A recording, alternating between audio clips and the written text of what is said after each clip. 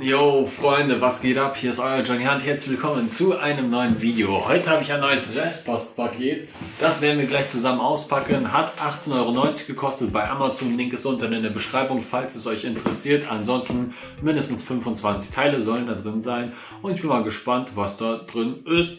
Legen wir los, packen es aus. Let's go!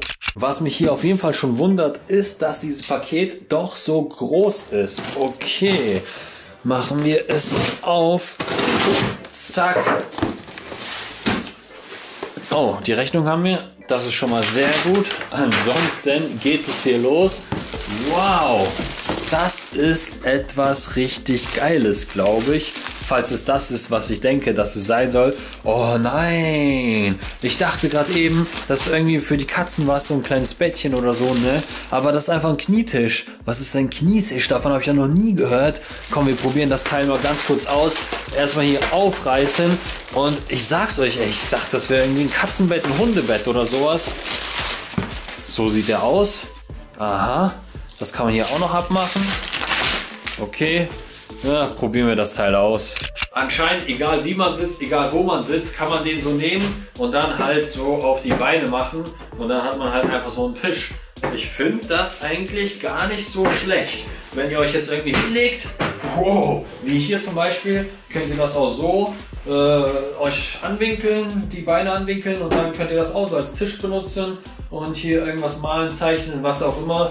Also im Großen und Ganzen, ich habe davon noch nie gehört, wenn ich ehrlich bin, aber gar nicht mal so übel. Krasses Teil auf jeden Fall. Habt ihr sowas schon mal gesehen? Falls ja, schreibt es mir einfach in die Kommentare. Ja, ich würde mal sagen, das hat sich jetzt schon mal gelohnt. Also wirklich interessant. Als nächstes haben wir hier so eine Spritzwasserpistole. Habe ich euch ja schon mal vorgestellt. Das Ding ist günstig, aber das Ding ist gut. Gut und günstig, das kann man immer mal wieder im Sommer benutzen. Hier haben wir schon wieder diese Kunststoff-Eiswürfel. Ey, die sind gefühlt in jedem Restpostenpaket mit dabei, welches man sich bestellt. Die hatte ich jetzt schon zwei, dreimal mit dabei. Ja, kann man einfach so da rein tun. Äh, schaut euch das mal an. Wir haben hier als nächstes Kühlpads kann man benutzen, falls man sich irgendwo gestoßen hat oder so, aber da sind die eher unpraktisch, da sind diese Gel-Dinger praktischer. Die kantigen hier, die benutzt man normalerweise für eine Kühlbox. Eine Kühlbox habe ich jetzt nicht mehr, meine letzte Kühlbox habe ich ja zerstört gemacht und geschaut, wie stabil die ist. Aber Kühldinger, hier Kühl, äh, wie nennt man die? Kühlpads nennt man die gar nicht, ne? Ach, ich weiß auch nicht. Könnt ihr mir auch mal in die Kommentare schreiben, wie man die nennt. Fällt mir gerade nicht ein. Hier hinten auf der Rückseite steht es auch nicht drauf. Naja, aber kann man schon mal benutzen. Ne? Hier haben wir wieder so eine komische Schere. Hatten wir auch schon mal drin. Aber ich sehe hier noch ein paar einige neue Sachen, wie zum Beispiel Nice Day Cutter. Ein schönes, dickes Cuttermesser. Holen wir das mal raus aus der Verpackung.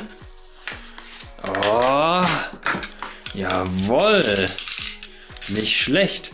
Das ist wirklich ein schönes, stabiles, dickes Cuttermesser. Das gefällt mir. Kann man immer mal gebrauchen. Ist auch hier sehr scharf, wie man sehen kann. Also das Teil, das kann man echt immer gebrauchen, um irgendwas abzuschneiden, aufzuschneiden. Wie auch immer, ne? Coole Sache.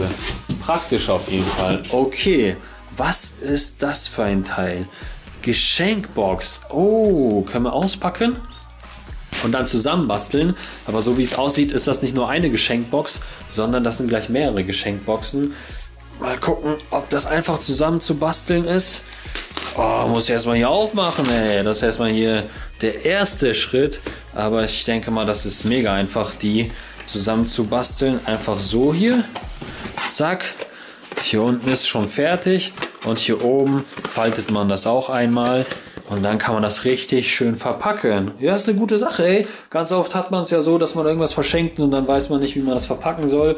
Und so ein kleiner Karton, der eignet sich da auf jeden Fall richtig gut. Ansonsten, ich sehe hier schon noch mehr Geschenksachen. Wie zum Beispiel dieses Teil, einmal Geschenkband und einmal diese kleinen Sterne, die man da drauf klebt. Ey, wisst ihr was Witziges? Ich klebe die auch ganz gerne auf Johnny Bella. Die reagieren dann echt süß. Komm, wir probieren das Ganze mal aus. Wir nehmen uns hier den da. Hoppala. Und dann kleben wir den mal auf Johnny oder Bella. Mal gucken, wen ich als erstes finde. Let's go! Oh Mann, für diesen kleinen Prank komme ich bestimmt in die Hölle.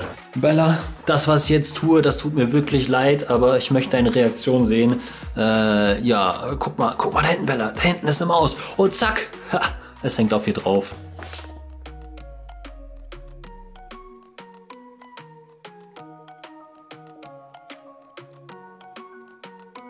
Toll, sie macht einfach gar nichts. Sie merkt zwar, dass da irgendwas drauf ist, aber so wirklich äh, stört sie das nicht anscheinend.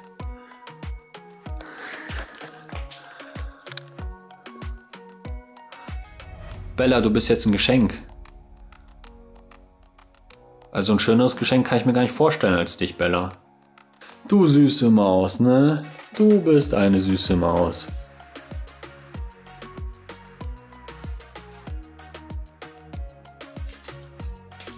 Das war's. Cooler Prank, hä? Yo, Johnny, du passt da immer noch kaum drauf. Hier schenke ich dir. oh, okay. Ihn scheint es anscheinend auch nicht zu interessieren.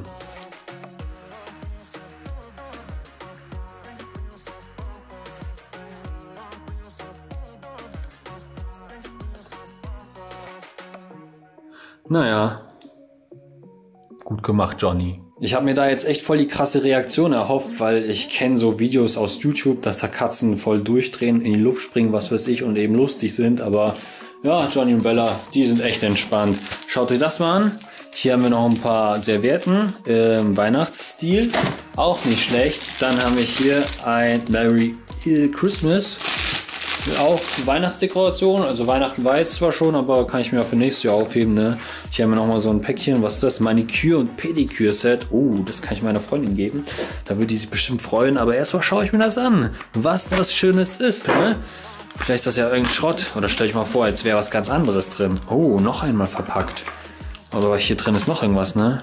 Und zwar, oha, schaut euch das mal an. So ein paar Aufsätze und Alter, das Ding das ist elektrisch. Ey, das sieht einfach richtig böse aus. Das sieht gar nicht aus wie so ein Pedikürset, sondern so ein anderes Gerät, was auch so macht. Wisst ihr, was ich meine?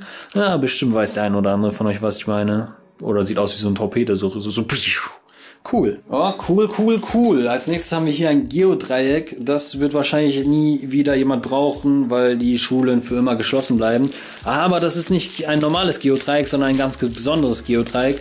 Und zwar kann man das so verbiegen und da passiert nichts. Das finde ich echt cool. Ich weiß gar nicht, wieso nicht alle Geodreiecks so sind. Finde ich echt richtig cool. Was haben wir denn hier noch? Wir haben hier auf jeden Fall ein paar riesige Scheren keine Ahnung, kann man für den Garten benutzen oder sowas. Erinnere mich irgendwie an den Arzt. Ärzte haben immer solche Scheren, oder? Boah, das sind auf jeden Fall dicke Scheren. Zwei Stück haben wir davon. Dann haben wir nochmal so eine kleine hier drin. Interessant. Hier haben wir nochmal ein bisschen Deko. Ey, das sieht auch cool aus. Schaut euch das an. Das sind einfach Kerzen, ne? Aber das sind LED-Kerzen, glaube ich. Sind das LED-Kerzen? Bestimmt sind das LED-Kerzen. Ja, ja, es sind LED-Kerzen. Hey, sieht aus einfach wie so ein äh, Knäuel. Ja, ihr wisst, was ich meine. Dann haben wir was für den Garten. So zwei Töpfe, die man aufhängen kann. Auch wirklich sehr, sehr cool. Da kenne ich auch eine Tante, die wird sich bestimmt darüber freuen. Was ist das für ein Teil? Ey, ist das ein Stempel oder ist das ein Stift? Aha, ein Stift. Boah, so einen Stift habe ich auch noch nie gesehen, ey. Was bedeutet dieses Zeichen? Könnt ihr mir auch mal gerne in die Kommentare schreiben. Und falls ihr neu auf meinem Kanal seid, abonniert den Kanal und aktiviert die Glocke, dann verpasst ihr keine Videos mehr. Okay, was bietet uns die Kiste noch? Messbecher, aber nicht nur einer, sondern gleich ein ganzes Dreier-Set. Das ist auf jeden Fall auch praktisch. So Messbecher, die braucht man immer zum Kochen oder zum Backen oder zum Braten oder was weiß ich für irgendwelche andere komischen Sachen, die man damit halt so machen kann. Ja, beste Oma der Welt. Magisches Handtuch. Was ist das denn? Ey, ist das ein Handtuch? Das ist doch kein Handtuch, oder?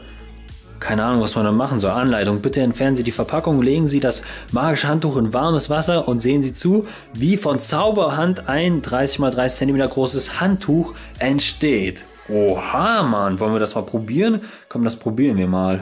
Wasser ist aufgefüllt. Hier habe ich das magische Handtuch. Sieht süß aus. Jetzt stecken wir es da rein. Und ähm, ich beschleunige das Ganze mal für euch hier und mal schauen, was passieren wird.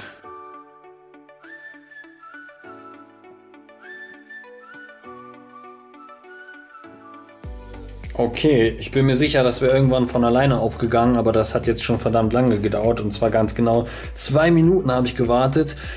Ja, beste Oma der Welt steht da drauf, ein kleines Handtuch. Oh, nicht schlecht, ey. Wie kriegen die das so klein, Mann? Alter, das muss ja mit einer Hydraulikpresse gepresst werden in Herzform.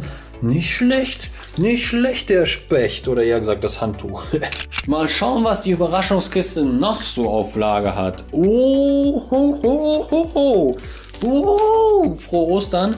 Ein paar Osterkarten. Gibt's ja gar nicht.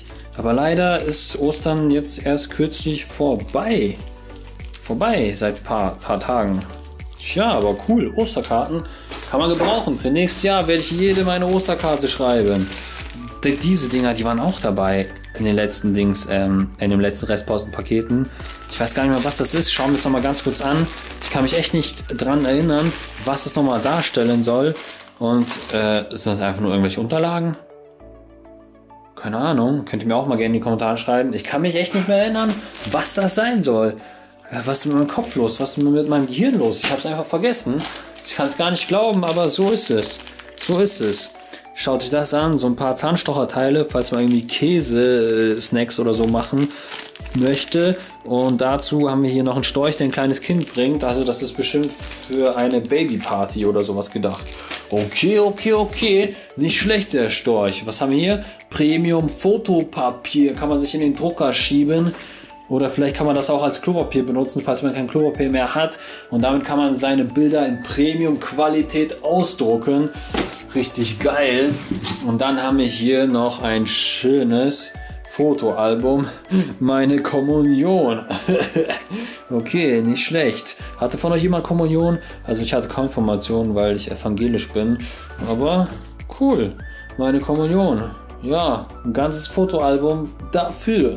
Und das war's mit dem Restpostenpaket. Also ich fand, es waren auf jeden Fall einige coole Sachen dabei, die ich vorher so noch nie in meinem Leben gesehen habe. Ansonsten zwei, drei Sachen waren dabei, die waren in den letzten Restpostenpaketen auch schon dabei. Also das Paket ist von dem gleichen Anbieter wie die anderen. Es ist jetzt nur ein Zeitraum dazwischen, so zwei, drei Monate oder sowas. Ihr wisst, was ich meine. Okay, Freunde, ich würde mal sagen, ich hoffe, das Video hat euch gefallen. Schöne Überraschungskiste. Wir sehen uns die Tage wieder. Ich hab euch lieb.